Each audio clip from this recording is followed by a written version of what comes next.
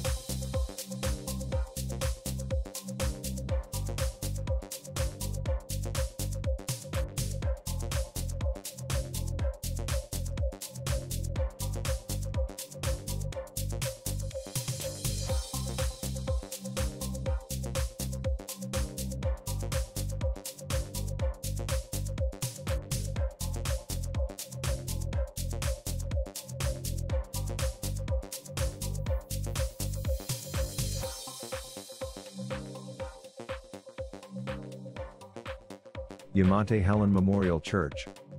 It's Rose Hotel Yokohama's off-site chapel used for wedding ceremonies. It is surrounded by nature in the Yamate area.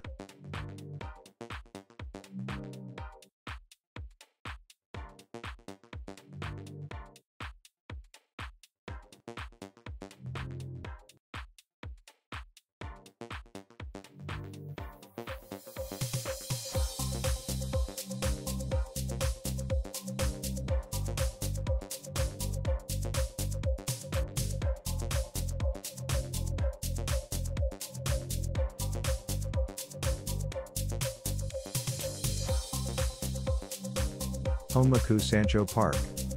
It's comprised of several connecting hilltops with a plethora of trees. The main attraction is extremely old and gnarled rows of cherry trees.